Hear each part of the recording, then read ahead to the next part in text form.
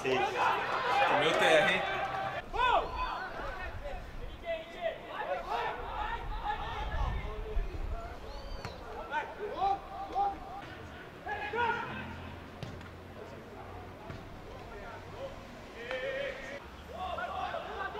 Ah, não. Ai, meu Deus. Ai, meu Deus do céu.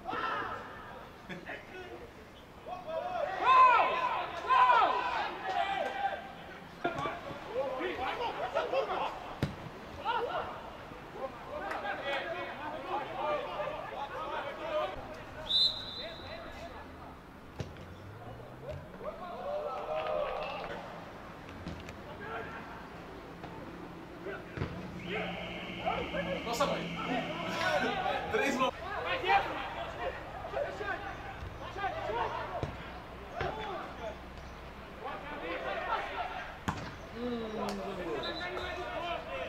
Ferreira, hoje o seu primeiro jogo treino sob esse comando da equipe profissional.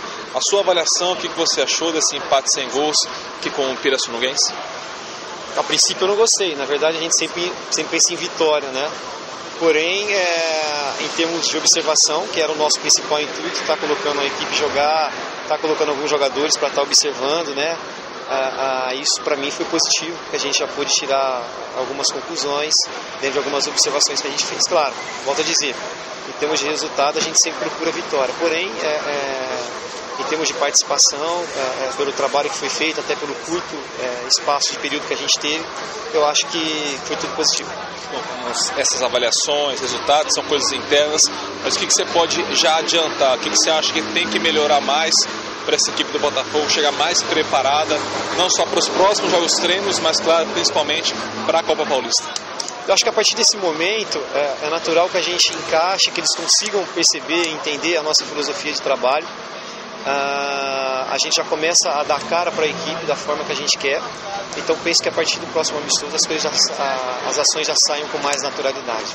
A gente percebeu vendo o time, né, com o Caio Gardinho ali como único atacante, atacante de ofício, mas com os meias chegando mais à frente. É esse esquema que você mais gosta ou você está tentando adaptar o que você tem hoje em mãos? A gente tem ainda um tempo para poder trabalhar, né? A gente tem algumas opções. É natural que a gente faça é, algumas experiências, né?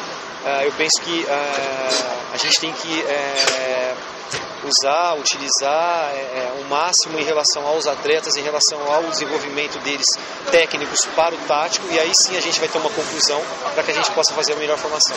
É, hoje você não contou com o Isaac, com o Michel, acho que até por causa também das observações de alguns jogadores não tem contrato com o Botafogo, tentando ver se agradam ou não para continuar e quem sabe assinar esse contrato.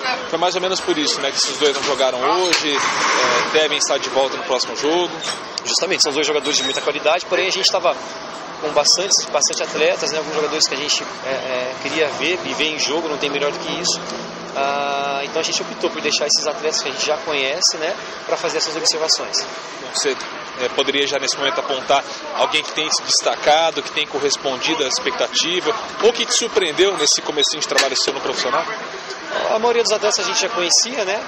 Ah, ah, então acaba não sendo nem surpresa, mas algo, algo positivo o fato deles manterem esse ímpeto, essa pegada, essa determinação. Né? Fico muito feliz por reencontrá-los e perceber que eles mantêm esse, esse estilo, essa forma de trabalhar sempre determinado, sempre com muita, com muita pegada.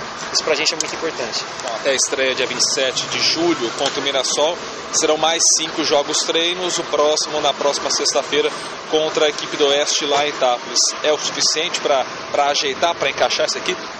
É, na verdade, a gente pediu vários jogos né, justamente para isso, para que a gente possa ter o um melhor encaixe, para que a gente possa fazer observação. A gente tem o Oeste aí, um time da, da Série B do brasileiro, né, que vem jogando, uma equipe forte. E, nada melhor que isso para a gente poder, a gente poder trabalhar. Então é, é uma sequência boa, praticamente um amistoso por semana, para que a gente possa ter aí a desenvoltura da equipe.